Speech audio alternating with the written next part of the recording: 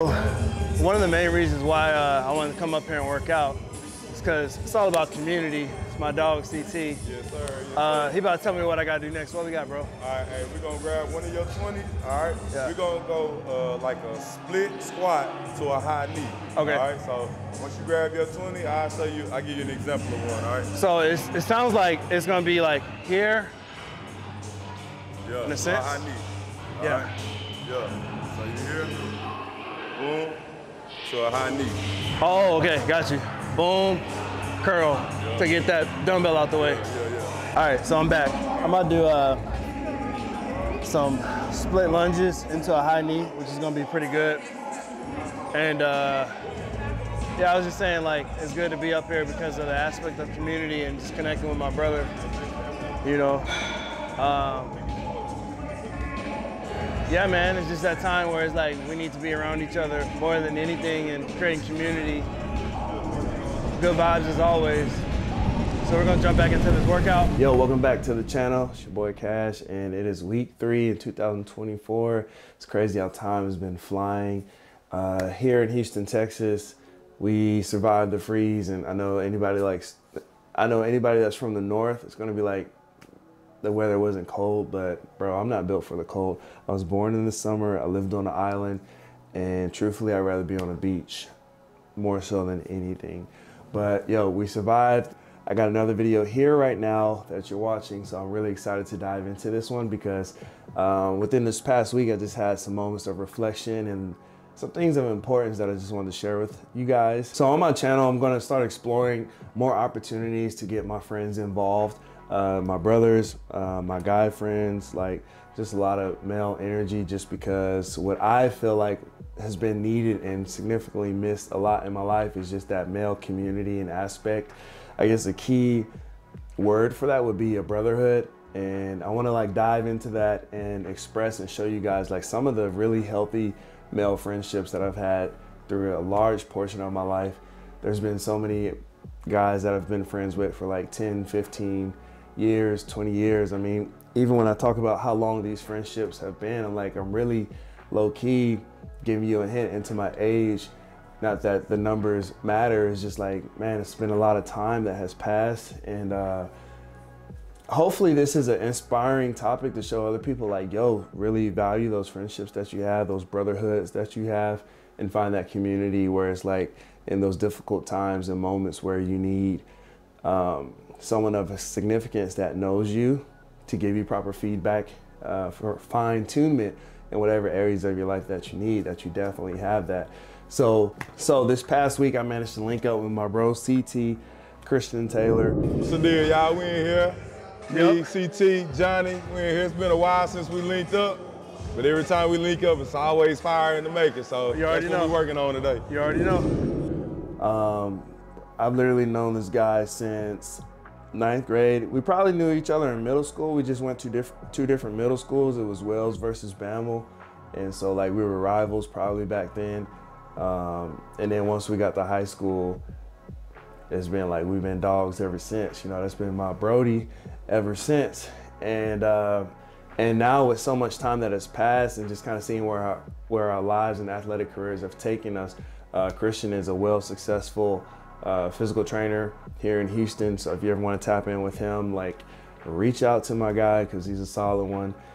Um, but really just highlighting the different paths that life has taken us, and we still managed to make time to connect and like really hear from each other and see what we've gone through and having that man-to-man conversation now that we're grown i mean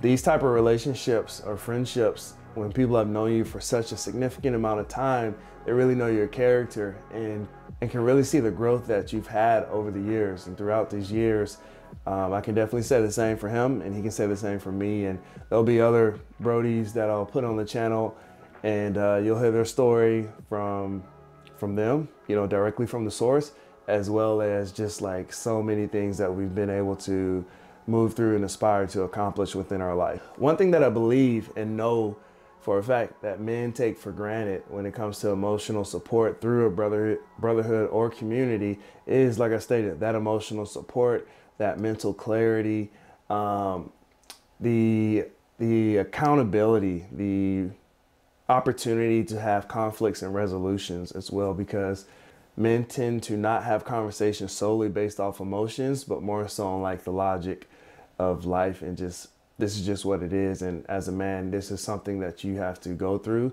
to have character development and growth opportunities within your life to be that leader and provider that I would say majority of men, that's what they want to be in their life.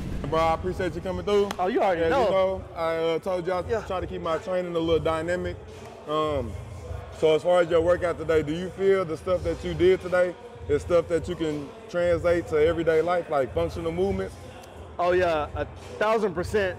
Um, because it's explosive. Uh, you're engaging like full body, you know, movements, core is engaged, glutes engaged. And as I was telling you, like I messed up my hamstring like a year ago. I have one muscle imbalances, but also mind and muscle connection uh, that I really need to focus on. So you have me doing, you know, some iso movements, but also some full body where there's multiple parts of the muscle groups that have to activate at the same time. Right. Uh, obviously, that's going to translate in our day-to-day lives, picking things up, putting stuff down, keeping our low back strong, core strong. So, thousand percent, bro. I gotta do this three rounds, three reps. Hey, bro. Shout out to Kim. Put a camera on Kim. My biggest supporter. she believes in me. They didn't believe in us, but Kim did. Kim believed. All right, both feet got to come down at the same time. If I don't, it doesn't count.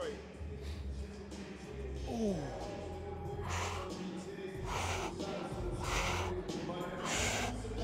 Uh, uh, uh, Ooh, jog back, baby. You know what time it is.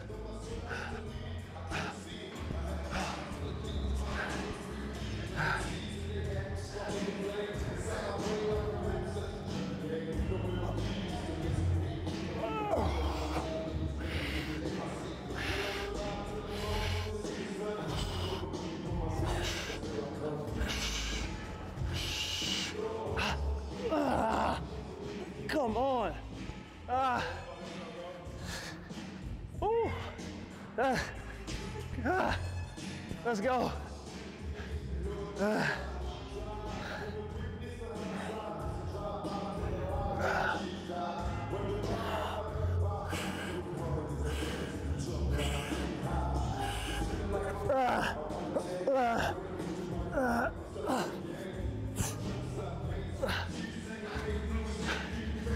That's it, right?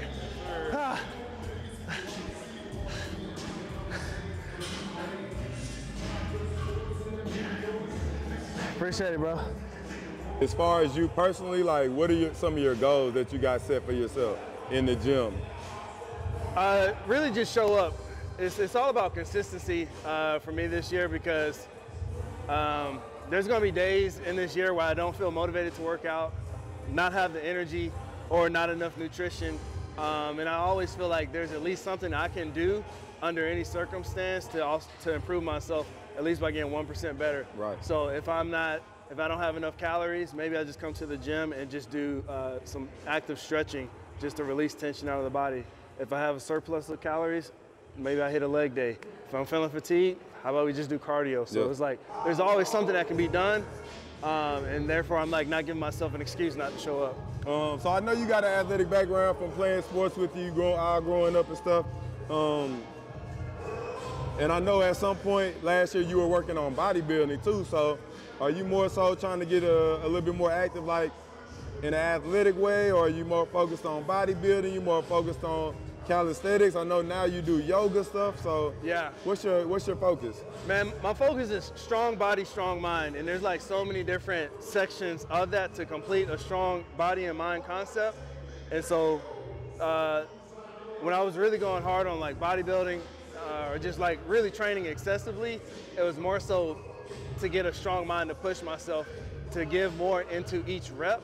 Nice. Um, the yoga came in part because of like injuries and understanding that to have a strong body is not necessarily always about contracting. It's also about releasing, you know, everything that we built up within our bodies.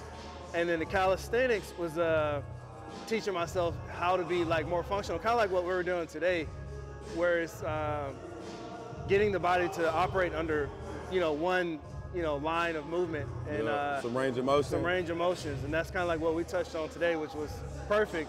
So really, I'm just kind of combining all of those things because I know it's going to translate in everything else in my life um, that I'm creating and working on. And uh, I just also believe that as men, like this is a place where we need to be consistently because So- it's community. Um, we can connect and fellowship with other men, and uh, in those like tougher moments of life, we have this space here Yeah, to uh, mindset, bro. pull us through. You know. Mental health for men is important, bro. It's uh, something that men struggle to express themselves about just because, you know, society's um, goal is to kind of tear down men and not get us to speak on our emotions. But it's important for us to be able to know how to properly express those emotions and then act on them in a proper manner. Thousand percent. Um, And for any guys that's watching right now, I hope you see that this is the opportunity for you to go explore those friendships that you already have. It doesn't have to be something as as long as a friendship that I've had with CT. However, just someone that aligns and knows you for who you are based off your character and have those conversations. Finish up with this. When you look at having a strong connections with these people that's known you for a significant amount of time, even a short period amount of time, because that type of chemistry can happen overnight or it can happen over years.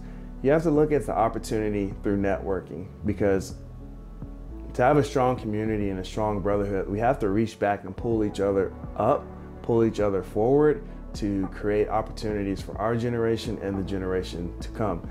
At the end of the day, life has its challenges, and that's probably the best part about life because it's not the destination that makes us feel fulfilled, it's the reflection of everything we've had to overcome to arrive at a destination that gives us the fulfillment. And so that's why we have to strengthen each other and push each other and allow ourselves to have big dreams to chase and go after. So once we've gone through all the challenges and obstacles, that we can feel alive in the moment of triumph. My name is Cash. Leave a like on the video, leave some comments, um, send some love to somebody in the world, and uh, you already know, man. I'll see you guys in the next video. So let's get to it. Yeah. man, I know because I know you personally for so long, bro. It's been a blessing. Bro, we, Um, y- hey, y'all don't yeah. know. We go back. Way back, like way back. We go back, man. like ninth grade, like Houston Rockets jerseys yeah. way back. Like, yeah, this, hey, this was my two guard. This is my feel me? shooting Yeah, guard. Yeah. I, So, remember- just to let y'all know, I Hey. told y'all we in there. Hey, real. fun fact, I threw I threw CT my first alley oop from half court. And it was my first alley, as a matter of fact. From And half court in a live game. Old buddy was running. Old buddy was running like, what's about to happen? I looked at CT from half court. I just went like this, that little head nod. Yeah. I said, I'm just throwing this, bro. CT rising, bro. Still rising. Old buddy jumped too, but he don't know CT behind him. He like trying to jump up too. CT two hand this mug, bro. We like sophomores maybe. Yeah, bro. And I try to tell people that, and they're like, man, CT, you're lying, bro. I'm like, No cap. right, dog. No cap. He two-handed, ref blew the whistle and one, hit the free throw. Uh, and- first alley oop and one, bro. That what? Yeah, that was, hey, that was classic, bro. That was classic.